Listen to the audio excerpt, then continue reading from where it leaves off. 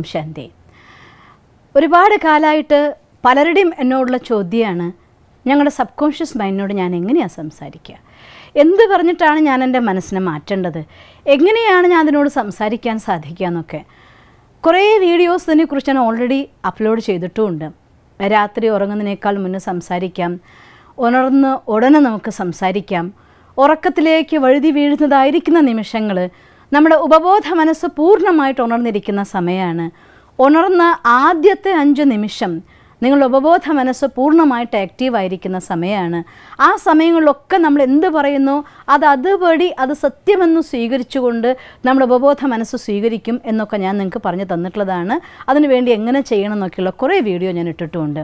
ഇന്ന് ഞാൻ നിങ്ങൾക്ക് പറഞ്ഞു തരാൻ പോകുന്നത് നിങ്ങൾ ഉണർന്നിരുന്നു കൊണ്ട് ആക്റ്റീവായിരുന്നു കൊണ്ട് നമ്മുടെ ഉപബോധ മനസ്സിനോട് സംസാരിക്കാൻ നിങ്ങൾക്ക് എങ്ങനെ സാധിക്കും എന്നുള്ളതാണ്. ഒരു കാര്യം ഉറപ്പാണ് ബോധ മനസ്സ് പൂർണമായിട്ട് ആക്റ്റീവായി നിൽക്കുന്ന സമയത്ത് ഉപബോധ മനസ്സിനോട് നമ്മൾ എന്ത് സംസാരിക്കാൻ നോക്കിയാലും നമുക്ക് ഉപബോധ മനസ്സിന്റെയും ഞാനെന്നതായിരിക്കുന്ന ചേതനയുടെയും ഇടയിൽ ബോധ മനസ്സ് പൂർണമായിട്ട് ആക്റ്റീവായി നിൽക്കുമ്പോൾ പിന്നിൽ നിൽക്കുന്ന ഒരാൾ കേൾക്കാതെ നിങ്ങൾ സംസാരിക്കുകയാണെങ്കിൽ മുന്നിൽ നിൽക്കുന്ന ആൾ കേട്ട് ഉത്തരം പറയുകയാണെങ്കിൽ എങ്ങനെയുണ്ടാവും? അതുപോലെയാണ് ഉണ്ടാവുക. അതുകൊണ്ടാണ് ഞാൻ ഒരു വീഡിയോ നിങ്ങൾക്ക് അതിനെക്കുറിച്ചും പറഞ്ഞു തരുന്നു ബോധ മനസ്സിനെ എങ്ങനെയാണ് നമുക്ക് അടിമയാക്കേണ്ടത്? എന്ന് വെച്ചാൽ അർത്ഥം ഉദാഹരണത്തിന് ഞാൻ പറയുകയാണ് ഞാൻ എന്റെ അഫർമേഷനിൽ ഞാൻ പറയുന്നു എന്റെ സബ് കോൺഷ്യസ് മൈൻഡിനോട് സംസാരിക്കുകയാണ് ഞാൻ സമ്പന്നനാണ്. ഉടനെ ബോധ മനസ്സ് ചോദിക്കും പിന്നെന്തിനാ ഇന്ന് കൊണ്ടുപോയിട്ട് ലോൺ അടച്ചത്? ഞാൻ പറയുകയാണ് ഞാൻ സമ്പൂർണ ആരോഗ്യവാനാണ്. അപ്പം എന്നോട് ബോധ മനസ്സ് ചോദിക്കും പിന്നെ എന്തിനാ ഇന്ന് കഴിച്ച ഗുളികകളൊക്കെ കഴിച്ചത്? ഇങ്ങനെ ബോധ മനസ്സ് അന്നന്നത്തെ കർമ്മങ്ങളുടെ ആധാരത്തിൽ അത് എന്ത് തോട്ട് ക്രിയേറ്റ് ചെയ്യപ്പെട്ടിട്ടുണ്ടോ എന്തൊക്കെ കർമ്മങ്ങൾ ചെയ്തിട്ടുണ്ടോ അതിന്റെ ആധാരത്തിൽ അതും ഒരു ചിത്രം ഉണ്ടാക്കി വെച്ചിട്ടുണ്ടായിരിക്കും. അതിന്റെ അപ്പുറത്തുള്ളൊരു കാര്യം അതിനോട് പറയുന്ന സമയത്ത് അത് നമ്മളോട് തീർച്ചയായിട്ടും നിങ്ങൾ അങ്ങനെയെങ്കിൽ ഇത് എന്തിനു ചെയ്തു? എന്ന് ചോദ്യം ചോദിക്കുകയും ചെയ്യും. ഇത് ബോധ മനസ്സിന്റെ ഒരു അറിയാതുള്ളൊരു കളിയാണ്. ഈ കളിയിലുള്ളിൽ കുരുങ്ങുമ്പോഴാണ് പലപ്പോഴും ഞാൻ അഫർമേഷൻ ചെയ്യുന്നുണ്ട്. ഞാൻ പരിശ്രമിക്കുന്നുണ്ട് വിഷ്വലൈസ് ചെയ്യുന്നുണ്ട് എന്നിട്ടും എന്റെ റിസൾട്ട് കിട്ടുന്നില്ല എന്ന് നിങ്ങൾ പറയുന്നെങ്കിൽ ഈ കളിയിലുള്ളിൽ കുരുങ്ങുന്നത് കൊണ്ട് നമ്മുടെ ബോധ മനസ്സ് ഇടയിൽ കയറി നമ്മളോട് ചോദ്യം ചോദിക്കുമ്പോൾ അതിനെ സാറ്റിസ്ഫൈ ചെയ്യാൻ നമുക്ക് പറ്റാത്തത് കൊണ്ടാണ് പലപ്പോഴും നമ്മുടെ അഫർമേഷൻസ് നമ്മുടെ അഥവാ വിഷ്വലൈസേഷൻ ഉപബോധ മനസ്സിലേക്ക് അതിന്റെ പൂർണ ഫീലിങ്ങോടുകൂടി നമുക്ക് കൊടുക്കാൻ പറ്റാതിരിക്കുന്നതും വേണ്ടത്ര രീതിയിലുള്ള ഒരു എനർജി അഥവാ വൈബ്രേഷൻ പ്രൊഡ്യൂസ് ചെയ്യാൻ പറ്റാതിരിക്കുന്നതും നിങ്ങൾ വിചാരിക്കുന്ന ഡ്രീം അഥവാ ലക്ഷ്യത്തിലെത്തിച്ചേരാൻ വേണ്ടി ഒരുപാട് നീണ്ട സമയം നിങ്ങൾക്ക് വേണ്ടി വരുന്നതും. അതുകൊണ്ട് ഇതിന്റെ ഇടയിൽ നിൽക്കുന്നതായിരിക്കുന്ന ഒരാളുണ്ടല്ലോ നമ്മുടെ ബോധ മനസ്സ്. ആ ബോധ മനസ്സിനെ സമാധാനിപ്പിക്കാൻ വേണ്ടിയാണ് ഇത് ഞാൻ നിങ്ങൾക്ക് മുന്നേ പറഞ്ഞു തന്നിട്ടുണ്ട്. നമ്മൾ രാവിലെ എഴുന്നേൽക്കുന്ന സമയത്തും രാത്രിയും സബ് കോൺഷ്യസ് മൈൻഡ് ആക്റ്റീവ് ആയിരിക്കുന്ന രണ്ട് സമയങ്ങളിലും നിങ്ങളതാണ് എന്ന് ഉള്ള അഫർമേഷൻ ചെയ്യുമ്പോൾ അല്ലാത്ത സമയത്ത് ഞാൻ സമ്പന്നനായിക്കൊണ്ടിരിക്കുന്നു ഞാൻ നല്ല ആരോഗ്യവാനായിക്കൊണ്ടിരിക്കുന്നു. ഓക്കെ ഉടനടി ബോധം മനസ്സ് അംഗീകരിക്കും ശരിയാണ്. മെഡിസിൻ കഴിച്ചിട്ടുണ്ട് നാളേക്ക് അസുഖം മാറിക്കോളും എന്ന് ബോധ മനസ്സ് പറയും. ഈ രീതിയിൽ നമുക്ക് ബോധ മനസ്സിനെ സമാധാനിപ്പിച്ചുകൊണ്ട് ഉപബോധ മനസ്സിനോട് സമയങ്ങളിൽ സംസാരിക്കാം. അതേസമയം ഉണർന്നിരുന്നു കൊണ്ടും നമുക്ക് ഉപബോധ മനസ്സിനോട് സംസാരിക്കാൻ പറ്റുന്ന എപ്പോൾ വേണമെങ്കിലും നിങ്ങൾക്കിഷ്ടമുള്ളപ്പോഴൊക്കെ തന്നെ ഉപബോധ മനസ്സിനോട് സംസാരിക്കാനുള്ള ഒരു ടെക്നിക്കാണ് മെഡിറ്റേഷൻ. അതിന്റെ ഹയർ ലെവലെത്തുന്ന സമയത്ത് മാക്സിമം റിലാക്സ്ഡ് ആവുന്ന സമയത്ത് നമ്മൾ ആ തോട്ട് ക്രിയേറ്റ് ചെയ്യുക എന്നുള്ളത്. ഉദാഹരണത്തിന് പറയുകയാണെങ്കിൽ എല്ലാ മനുഷ്യന്മാരുടെ മനസ്സിന്റെ ഉള്ളിലും അന്നന്നത്തെ കർമ്മം ചെയ്യാൻ വേണ്ടതായിരിക്കുന്ന അവശ്യ ചിന്തകൾ തീർച്ചയായിട്ടും ഉണ്ടാവും പ്ലാനിങ് ഉണ്ടായിരിക്കും. ഇപ്പോൾ രാവിലെ എഴുന്നേറ്റു എനിക്ക് ഇത്ര സമയത്ത് ബ്രഷ് ചെയ്യണം കുളിക്കണം എന്റെ കാര്യങ്ങൾ ചെയ്യണം എനിക്ക് ഓഫീസിൽ പോകണം ഈ കാര്യം ചെയ്യണം ആ കാര്യം ചെയ്യണം. ഇങ്ങനെ ഡെയിലി റൂട്ടീന് വേണ്ടതായിട്ടുള്ള ഒരു പ്ലാനിങ് എല്ലാവരുടെ മനസ്സിലും ഉണ്ടായിരിക്കും.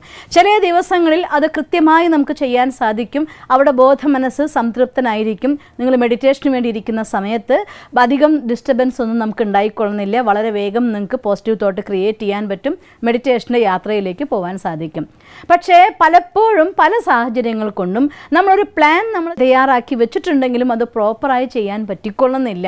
ആ ഒരു പ്ലാൻ ചെയ്യുകയും അത് നമുക്ക് അതുപോലെ ചെയ്യാൻ പറ്റാതിരിക്കുകയും ചെയ്യുമ്പോൾ സ്വാഭാവികമായിട്ടും നമ്മുടെ മനസ്സിന്റെ ഉള്ളിൽ ഇറിറ്റേഷൻ അഥവാ ഒരു ടെൻഷൻ ഉണ്ടാവുന്നത് സ്വാഭാവികമാണ് അതുപോലെ തന്നെ പലപ്പോഴും പല ആളുകളുമായിട്ട് നമ്മൾ ഇടപഴകുന്ന സമയത്ത് ചിലർ സ്നേഹത്തോടെ സന്തോഷത്തോടെ നമ്മളെ പ്രോത്സാഹിപ്പിക്കുന്നവരുണ്ടായിരിക്കാം. ചിലർ നമ്മളെ വിമർശിക്കുന്നവരുണ്ടായിരിക്കാം. ചിലപ്പോൾ ചില തോൽവികൾ കൊണ്ട് നമ്മുടെ മനസ്സിൽ വിഷമം വന്നിരിക്കാം. ഇങ്ങനെ ഈ ലോകത്തെ ജീവിതത്തിൽ എന്നും ഒരുപോലെ ആർക്കും ഉണ്ടാവാറില്ല. ചില ദിവസങ്ങൾ നല്ലത് ചില ദിവസങ്ങൾ മോശം എന്നൊക്കെ ഉണ്ടാവും.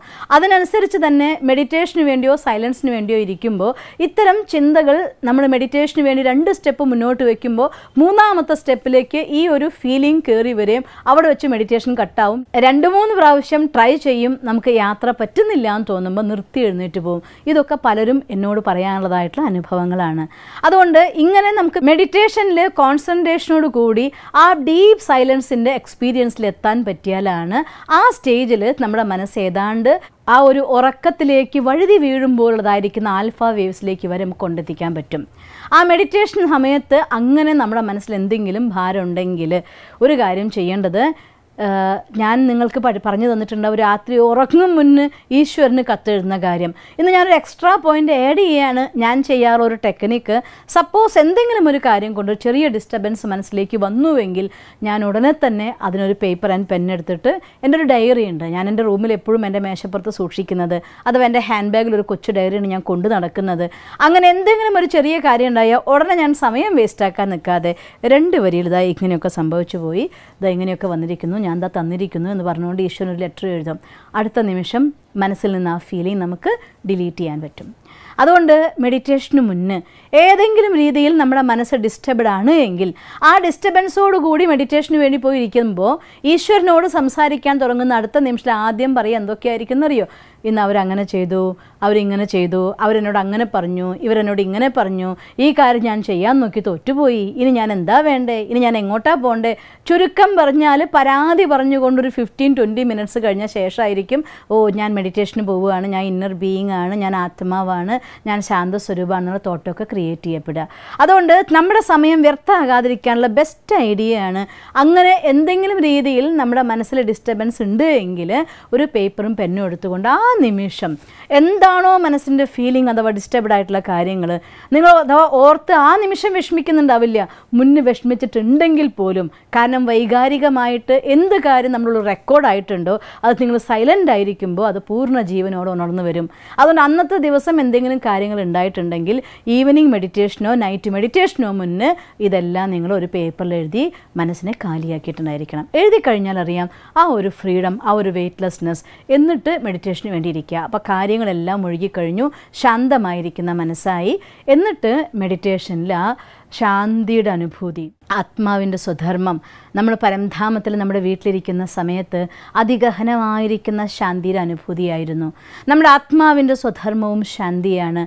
അമ്മയുടെ ഗർഭത്തിൽ കിടക്കുന്ന സമയത്തും പല വിധത്തിലതായിട്ടുള്ള വൈബ്രേഷൻ സ്വീകരിക്കുമ്പോഴും നമ്മൾ അനുഭവിച്ചിരുന്ന ആ ഒരു ശാന്തിയുടെ അഗാധമായൊരു സുഖത്തിന്റെ അവസ്ഥയുണ്ട്. അതുകൊണ്ട് നമ്മുടെ ഉള്ളിൽ നിന്ന് ആ ശാന്തിയുടെ അവസ്ഥ ഉണർത്തിയെടുക്കുക. ഞാൻ ആത്മശാന്ത സ്വരൂപമാണ് എല്ലാ കാര്യങ്ങളും ഞാൻ ഈശ്വരന് കൊടുത്തു കഴിഞ്ഞിരിക്കുന്നു. അതും എല്ലാ കാര്യങ്ങളും ഞാൻ നന്നായി ചെയ്തു കഴിഞ്ഞിരിക്കുന്നു. ഇപ്പം ഞാൻ എല്ലാത്തിൽ നിന്നും വിഡ്രോ ചെയ്തിരിക്കുകയാണ്. ഈ നിമിഷം ഞാൻ എനിക്കൊപ്പം സ്വസ്ഥമായിരിക്കുന്ന നിമിഷമാണ്. ഇവിടെ മറ്റാരുമില്ല. ഞാൻ എന്റെ യഥാർത്ഥ സ്വരൂപത്തിൽ പരമാത്മാവിനൊപ്പം ഇരിക്കുകയാണ്. ശാന്തി സാഗരനായ ഭഗവാനും ആ ശാന്തിയുടെ സ്വരൂപമായ ഞാനും. ഇളം നീല പ്രകാശകിരണനിലേക്ക് ഒഴുകി വരുന്നു. ഞാൻ ആ ഭ്രൂമധ്യത്തിലൊരു ഇളം നീല പ്രകാശ നക്ഷത്രം പോലെ തിളങ്ങുകയാണ് ആ ഡീപ് സൈലൻസിന്റെ സുഖം ഞാൻ അനുഭവിക്കുകയാണ്. ഇപ്പോൾ മറ്റൊരു തോട്ടുമില്ല. ആ ശാന്തി മാത്രം ശാന്തിയുടെ മധുരമായ സ്ഥിതി മധുരമായ അനുഭൂതി. അതിഗഹനമായ ശാന്തിയിലേക്ക് പോവുകയാണ്. Again and again and again നമ്മുടെ ഉള്ളിൽ ആ ശാന്തിയുടെ ഒരു ഡീപ്പ് സൈലൻസിന്റെ എക്സ്പീരിയൻസ് നമുക്ക് വരാൻ തുടങ്ങും. അങ്ങനെ മനസ്സ് ശാന്തമാകുന്ന അവസ്ഥയിൽ എന്ത് കാര്യമാണോ എന്ത് പ്രോഗ്രാമിംഗ് ആണോ നമുക്ക് സബ് കോൺഷ്യസ് മൈൻഡിന് കൊടുക്കേണ്ടത്. നമ്മുടെ ക്യാരക്ടറിൽ ഒരു ചേഞ്ച് ആണെങ്കിലും നമ്മുടെ എന്തെങ്കിലും ലക്ഷ്യത്തിലേക്ക് നമുക്ക് ഉണ്ടാവുന്നതായിട്ടുള്ള ആ ഒരു എനർജി ആവാഹിക്കാൻ പറ്റില്ലെങ്കിൽ ആ തോട്ട് എന്തെങ്കിലും ഭയം പോലുള്ള കാര്യങ്ങൾ ഒഴിവാക്കണം എന്നുണ്ടെങ്കിൽ ഭയമാണെങ്കിൽ ഞാൻ ധൈര്യശാലി ആത്മ അഫർമേഷൻ എന്താണോ നിങ്ങൾക്ക് വേണ്ട കാര്യം അത് നേരത്തെ കൂട്ടി തീരുമാനിച്ച് ഉറച്ച് അതിന് വേണ്ട അഫർമേഷൻ ലൈൻ ക്ലിയർ ആക്കി വെച്ചിരിക്കണം. ആ ലൈൻ ആ സമയത്ത് തോട്ട് ക്രിയേറ്റ് ചെയ്യുക. സബ് കോൺഷ്യസ് മൈൻഡ് നൂറ് ശതമാനം എനർജിയോടെ അത് സ്വീകരിക്കും. യെസ് അതാണ് ഞാനെന്നത് സ്വീകരിക്കും. ആ രീതിയിൽ മെഡിറ്റേഷന്റെ ഹയർ ലെവലിൽ നിങ്ങൾ സബ് കോൺഷ്യസ് മൈൻഡിന് കൊടുക്കുന്ന എന്തൊരു ഓർഡറും അത് വളരെ പെട്ടെന്ന് ആക്സെപ്റ്റ് ചെയ്യും. ഉറക്കത്തിൽ കൊടുക്കുന്നേക്കാൾ പവർഫുള്ളാണ് നമ്മളിങ്ങനെ കൊടുക്കുന്ന സമയത്ത്. അത് ശക്തി ആർജിക്കും. വളരെ വേഗം നിങ്ങൾക്ക് വേണ്ടതായിരിക്കുന്ന രീതിയിൽ നമ്മുടെ സംസ്കാര പരിവർത്തനമാണെങ്കിലും ചിന്തകളിലെ പരിവർത്തനമാണെങ്കിലും നമ്മുടെ കാര്യങ്ങൾക്ക് വേണ്ടതായിട്ടുള്ള പ്ലാനിങ് ആണെങ്കിലും അത് പ്രവർത്തിക്കാൻ തുടങ്ങിയിരിക്കും ആ ഊർജം ആവാഹിക്കാൻ തുടങ്ങിയിരിക്കും. നമ്മുടെ ഉപബോധ മനസ്സ് പൂർണമായിട്ട് നമ്മുടെ സഹയോഗിയാക്കി മാറ്റാൻ നമുക്ക് സാധിക്കും. ഈ രീതിയിൽ മെഡിറ്റേഷൻ എന്നതായിരിക്കുന്ന മൂല്യമായൊരു നിധി അത് ഭഗവാൻ നമുക്ക് തന്ന ഗിഫ്റ്റാണ് ആ ഗിഫ്റ്റിനെ ഉപയോഗിച്ചുകൊണ്ട് ഉപബോധ മനസ്സിനെ പൂർണ ശാന്തമാക്കി നമുക്ക് സഹയോഗിയാക്കി അതിലെ പൂർണ ഊർജത്തെ പുറത്തു കൊണ്ടുവന്ന് നിങ്ങളുടെ ജീവിതത്തിലെ എല്ലാ സ്വപ്നങ്ങളും സഫലമാക്കാൻ നിങ്ങൾക്ക് സാധിക്കട്ടെ എന്ന് ഞാൻ ഈശ്വരനോട് പ്രാർത്ഥിക്കുന്നു. ഓം ശാന്തി. ദിവസം തോറും ജീവിത വിജയങ്ങൾക്ക് വെളിച്ചം വീശുന്ന പുത്തൻ വീഡിയോകൾക്കായി ഞങ്ങളുടെ യൂട്യൂബ് ചാനൽ സബ്സ്ക്രൈബ് ചെയ്യൂ. നോട്ടിഫിക്കേഷൻ ലഭിക്കുന്നതിനായി ബെല്ലൈക്കൺ ക്ലിക്ക് ചെയ്യൂ. ഒപ്പം ഞങ്ങളുടെ ഫേസ്ബുക്ക് ട്വിറ്റർ ഇൻസ്റ്റാഗ്രാം പേജുകൾ ഫോളോ ചെയ്യൂ. നന്ദി.